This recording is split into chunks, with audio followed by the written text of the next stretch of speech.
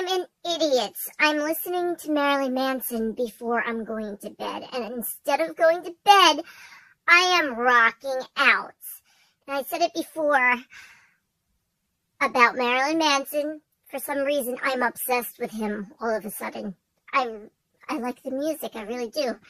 Um, I think he should dress sexier, though. I mean, his style's cool, but yeah, his music's sexy. So, anyway, uh, fuck.